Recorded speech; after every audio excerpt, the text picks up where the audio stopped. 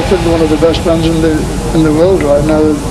They've got a girl singer who sounds like a cross between Bon Scott and Janis Joplin, and they sound like sort of AC/DC cross with, like, I don't know, thrash, you know, they're a great band.